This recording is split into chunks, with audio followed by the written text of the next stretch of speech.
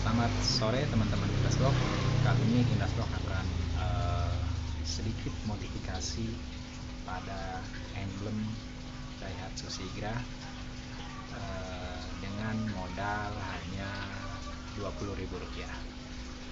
Seperti apa prosesnya? Saksikan terus.